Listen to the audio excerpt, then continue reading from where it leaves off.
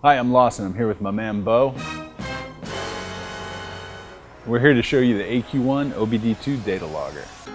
If you ask anybody who tracks their car competitively, they'll tell you that data is the difference between simply competing and having a chance to win. But there can be some challenges with getting into data logging. There's a lot of wiring involved, and there's also a learning curve associated with the analysis software. We've made that a lot easier with our new AQ1 OBD2 data logger. It allows you to connect to your vehicle's OBD2 port and pull the CAN data through the OBD2 port so that you have access to data right away.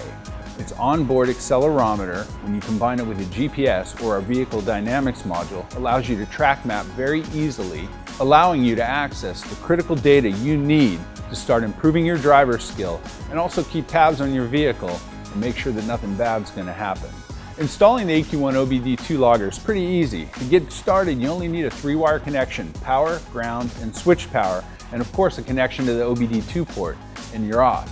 The beauty of it though is we give you a ton of expandability. It also includes eight flying leads for analog inputs as well as three flying leads for digital inputs.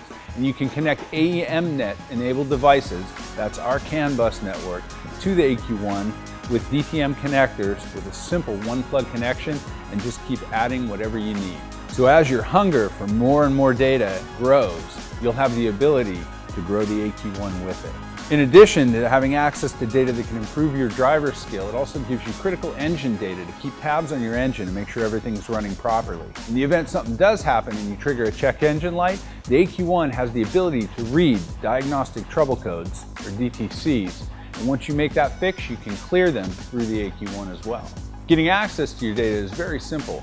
Once you've plugged into the OBD2 port, you have power, open up the AQ1 software, and it's going to pull the OBD2 port and list every available channel coming through that port. You just select the ones that you want and off you go.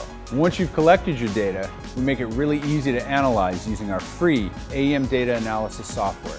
It's powerful, very easy to use, and you can even import your video and overlay your data onto it for a whole new level of awesome.